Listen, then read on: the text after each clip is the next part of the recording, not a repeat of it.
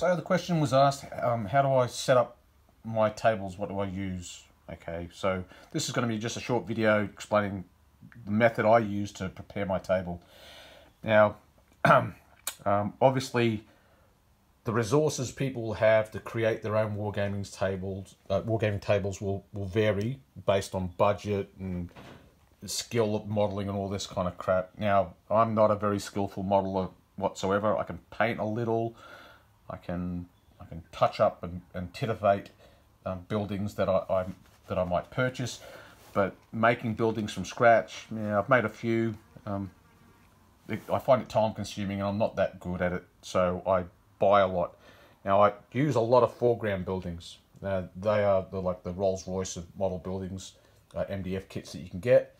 Um, they do cost an absolute fortune, however. So um, what do I do? I troll around and I buy them secondhand. And if you go to war game shows and conventions and the like, you know, you might be lucky you can find some. Or you can just simply go on some of the various Facebook um, uh, buy, swap, and sell pages.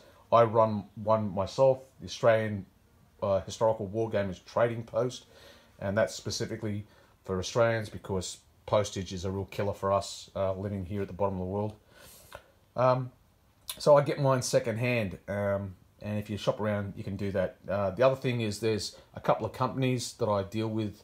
Battlefield's accessories are fantastic, uh, and so is uh, Lasercast here in Australia. So they're the two ones I use most mostly.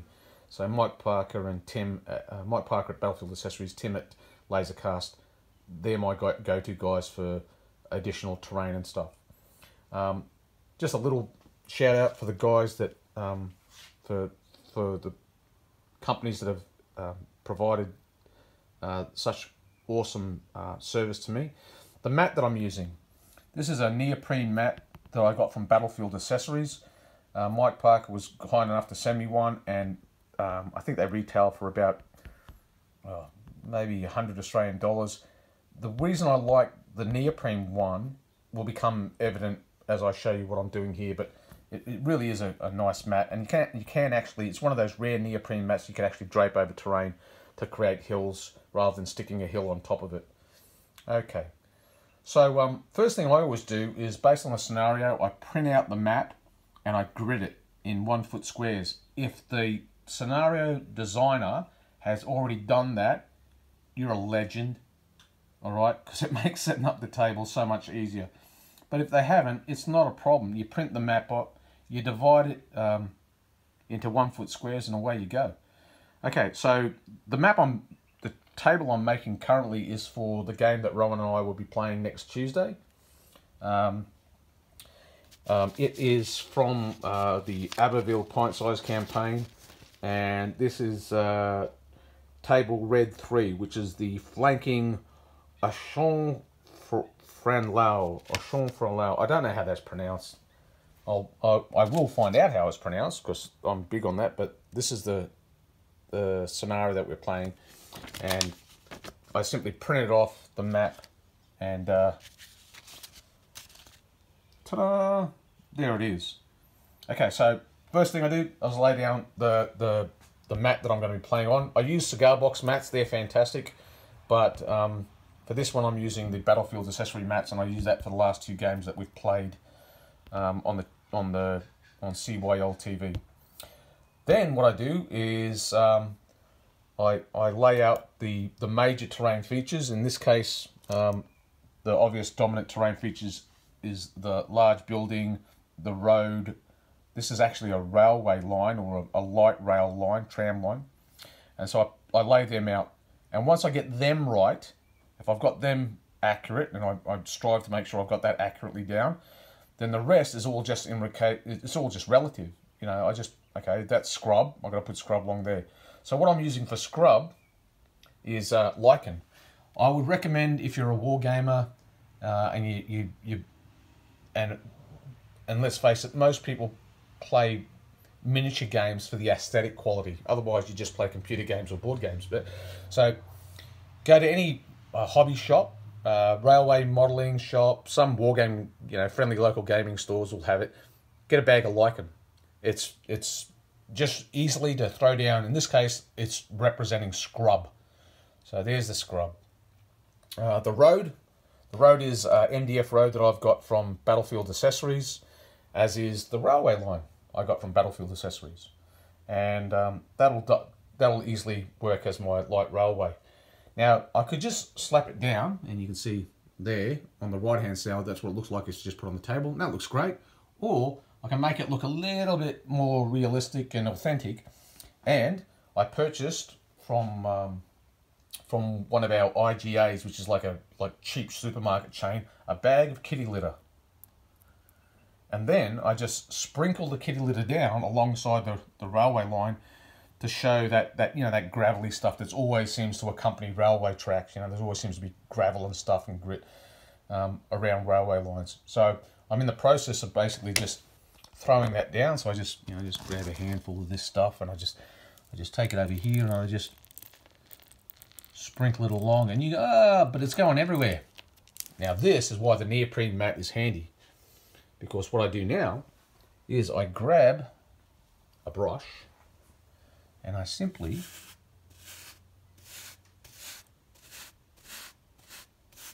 brush it up alongside. And being a neoprene mat, it makes it very easy to do. So again, I just grab more kitty litter, you know, just dump it down, grab the brush, brush it up alongside it. You get the idea. Okay, um, then once I've um, once I've you know placed out the kitty litter to, to and and that's usually uh, usually useful for other things like little little paths. You know, you know you got a path going from a building to um, to a road or something, you can simply just, again, you just drop down the, and you, and you can create these little, little paths. Okay, so obviously the, the tram comes along here, little light rail tram, and this is where people get on and off. You know, it's all very, very French transport system is working well today. And then, um, yeah, there you go.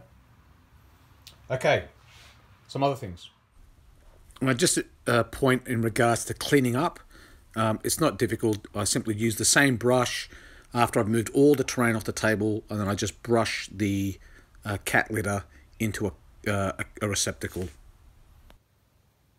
Because the other, some of the other things I use to, to just to add to the uh, the aesthetic quality of the table is um, things like telegraph poles or telephone lines, things like that. Now, th these ones I got, these are uh, Rubicon models um, telegraph poles. I just simply sprayed them in a spray paint that I got from um, from the local Bunnings hardware store, or any, that's a major hardware store here in Australia. Just go to the Bunnings, grab a tin of Jasper. Jasper's a, a, a colour that seems to be just like a woody, earthy colour. So I just sprayed them with Jasper and then I then painted over the Jasper with Vallejo old wood, if I remember correctly, it was old wood, and then the cross beams I use Vallejo new wood, and then gunmetal for the the little um, conductors and white for the elements on the conductors. Okay, so and you get a pack of from Vallejo. I think it's about twenty Australian dollars, twenty five, maybe thirty. You get eight of these poles, which gives you eight telegraph poles, and then you get a pile of uh, street lamps and road signs and stuff like that. So that's a really good uh, kit to get if you just want to, and that will give you enough telegraph poles and, and light and, and lamps, street lamps, and that you'll probably ever need, uh, all for the one purchase. Okay. Yeah, for some stupid reason, I said um, you get these from Vallejo, that they're Rubicon model kits, and yeah, like I said, you can obtain these this telegraph set uh, telegraph pole set um, from Rubicon models. They're very good. Woods. I go out in the garden. Obviously, I put down my model trees, but then I go out in the garden and I grab a whole pile of of just fall deadfall. Um, I live in um, semi-rural Victoria, Australia. I wish I wish I was living in semi-rural New South Wales or Queensland, but hey, I'm stuck here in the People's Democratic Republic of Victoria. Um, just grab the twigs and I break them up, toss them around, and it just it's just a, a reminder that hey, no doubling in woods because uh, you can run into trees or trip over fallen logs and stuff. And again, it just it just adds a little bit, you know, to the to the wood. Um, so that's woods, and then um, fields. Okay, cereal crops. Uh, in this scenario, I don't know. I might. This is just teddy bear fur, but the really short, uh, dense pile teddy bear fur that you can get from. We we have shops here called Spotlight in Australia, but anywhere, any haberdashery place, you can get uh, teddy bear fur. Eh, it's not too expensive, and um, that will do as one type of cereal crop. Another one, again, went to a haberdashery shop and they were selling rolls of this stuff. Uh, I think it's for for florists or something. I don't know what purpose it serves other than making a really decent kind of lush green crop. And another option, of course, is artificial grass. You can get artificial grass for your garden, uh, get sheets of that, and you can make, uh, again, just, uh, you know, little crops that are growing. Um, so there, there's those three, and then the other one, of course, is doormat. And I'll show you what doormat uh, I've used for that. Okay, so this is a fairly common uh, type of um, material people use for crops. Okay, so let me just grab some some of my French men from uh, Sharp Practice sets, and um, yeah, so French uh, voltigeurs there in uh, moving through uh, crops.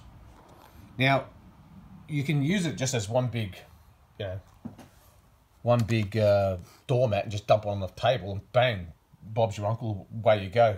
But um, what I often do is I cut them up into sections and I'll show you why. Okay, so this is just using doormat um, as um, as standing crops or cereal crops. And I cut them, cut them up into section because sometimes um, what I can do is once I've got the troops in the the fields, if I'm going to have them like stay there for a while, I can just remove a section and just place the troops in the space where the the crops were. So now that they're they're basically standing in the crops.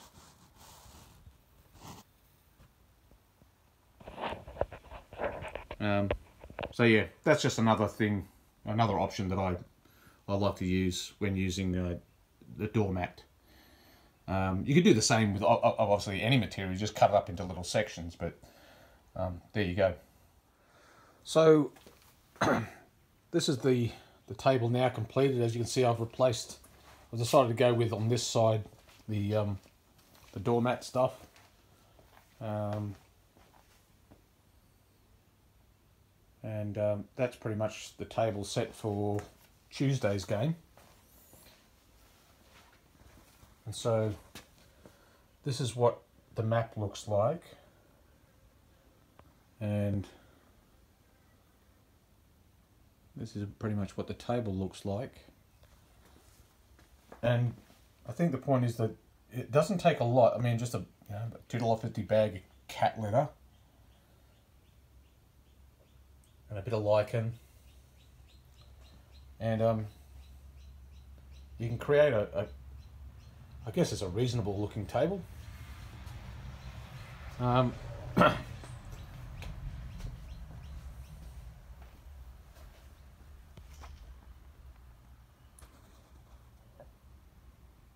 think if you add little things like you know a motorcycle parked in a near a, a garage, you know, um, some boxes near a railway siding, you know, a street lamp, telegraph poles, um, a chicken coop out the back of the the chateau. Um, it's the little things that make can make a big difference to the appearance of a war games table. Know, um, tossing down a few twigs. Um, these don't cost anything, and it just requires a little bit of imagination and and there you go. So that's that's how I create a table. That's the method I use. Uh, some of the tricks, well, I don't know if you call them tricks, but some of the um, the little things I do just to make it look a little bit more convincing.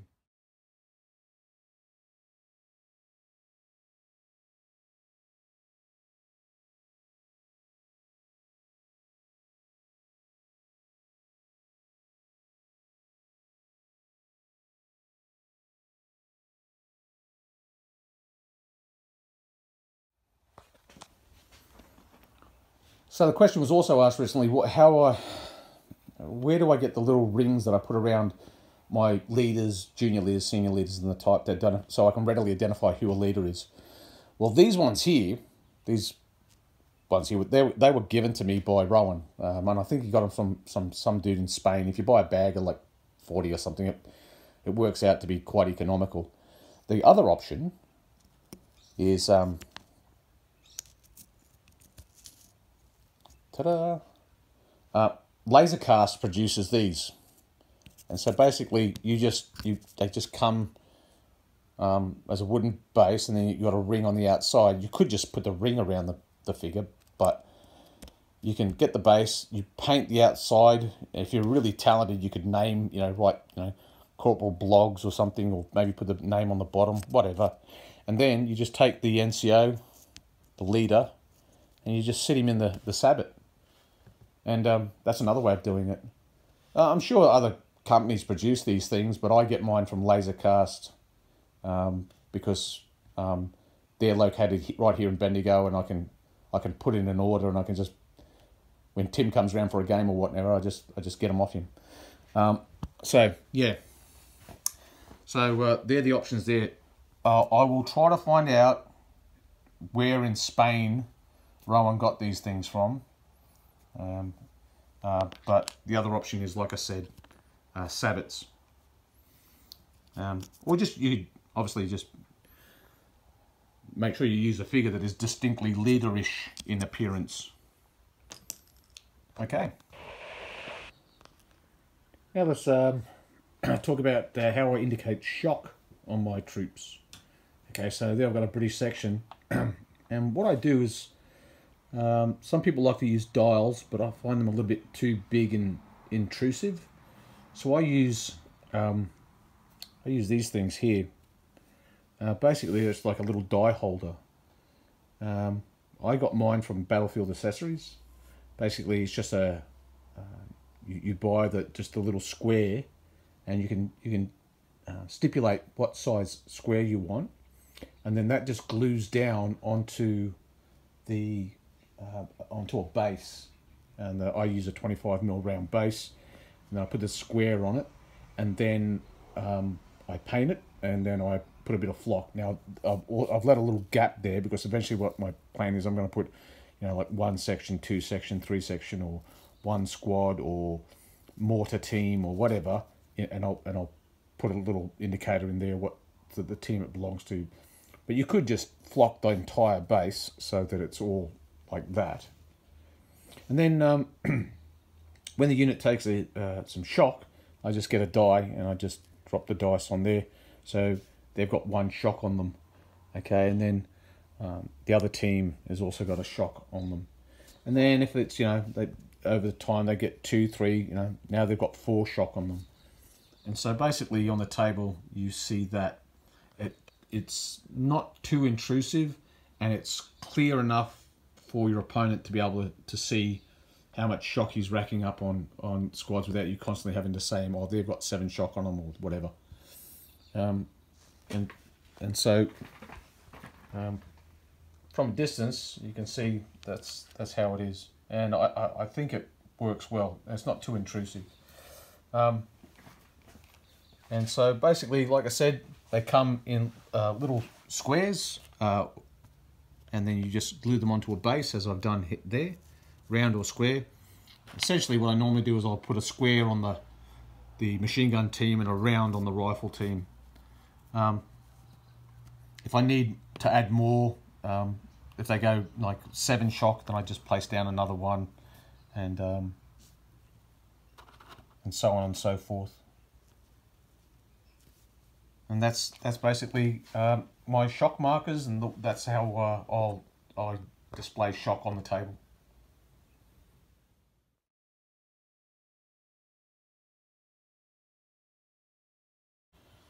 Um, so uh, that's it. I'll wrap it up there. Um, and this will be the table that we'll be fighting on. It's a, um, a flanking action, so basically the, uh, the British will be hunkered down in this corner of the table here, and the Germans will be attacking from over there and um, through the, the cereal crops there. Bye for now. This video was brought to you by Lasercast and Battlefield Accessories, suppliers of quality MDF terrain and all manner of products that you, the wargamer, will require. Thank you for your support, Battlefield Accessories and Lasercast.